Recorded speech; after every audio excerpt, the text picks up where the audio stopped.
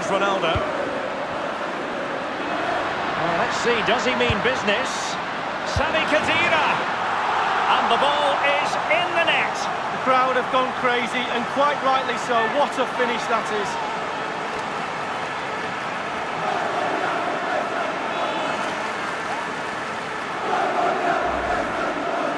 Well, let's take a look at this replay. The difference between a good player and some of the best players is they don't need to take a touch. Gets his shot away. First time, nothing else matters but concentrating on that ball.